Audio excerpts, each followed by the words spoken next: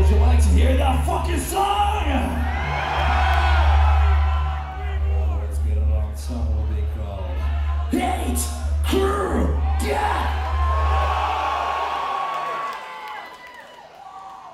Yeah!